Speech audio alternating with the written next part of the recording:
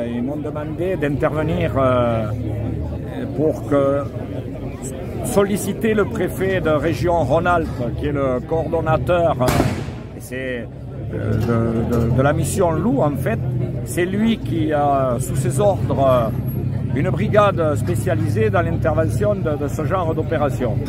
Bon voilà, alors après concertation avec le préfet des Hautes-Pyrénées qui me dit euh, qu'on va y aller graduellement, je crois que cette nuit, il y a une équipe de, louvetiers qui seront postés sur le site avec les, caméras thermiques pour euh, essayer de, ben, d'éliminer ce, loup solitaire qui sème la panique.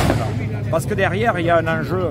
Il y a l'enjeu économique du pastoralisme, mais il y a l'enjeu de l'entretien de l'espace dans ce secteur. Il y a aussi, quand on nous dit que les Pyrénées sont un formidable puits de carbone, si l'on veut atténuer le, réchauffement climatique, il faut que l'herbe soit brottée. C'est l'herbe qui, pompe le carbone, à condition qu'elle pousse. Quand elle a fait les pieds, elle ne marche plus. Donc, l'action des ruminants, qu'il s'agisse, en l'occurrence ici, c'est les brebis, c'est les moutons, elle est primordiale. Et ça, même en termes de biodiversité, elle a un rôle important à jouer. Je crois que ça, il faudrait se mettre à table et le rappeler à certains opposants. Le loup, aujourd'hui, c'est une calamité pour le pastoralisme des Pyrénées.